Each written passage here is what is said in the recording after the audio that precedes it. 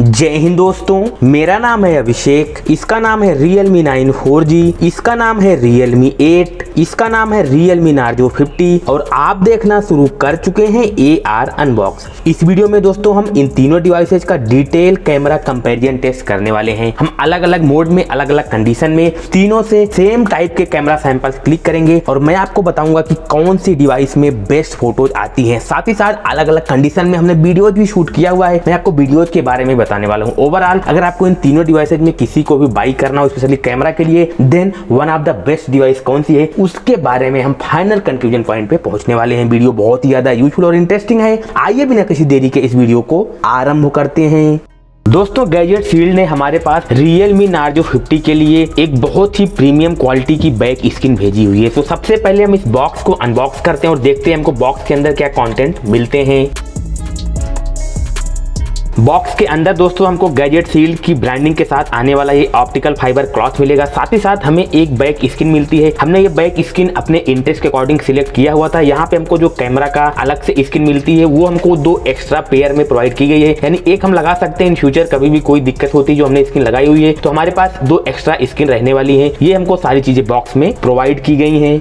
अब हम बात करते हैं दोस्तों, इस बैक स्किन को आप अपने डिवाइस में कैसे अप्लाई करेंगे? उसके लिए सबसे पहले आपको जो ऑप्टिकल फाइबर क्लॉथ मिलता है, उससे अपने फ़ोन के बैक साइड को अच्छी तरह से क्लीन कर लेना है। क्लीन करने के बाद आपको स्किन के चाहे बॉटम कॉर्नर या टॉप कॉर्नर से अपने फ़ोन के बैक साइड में अच्छी तरह से अलाइन करते हुए थोड़ा सा प्रेस कर देना है और आपकी जो स्किन है, ये आपके फ़ोन में इजिली अप्लाई हो जाएगी।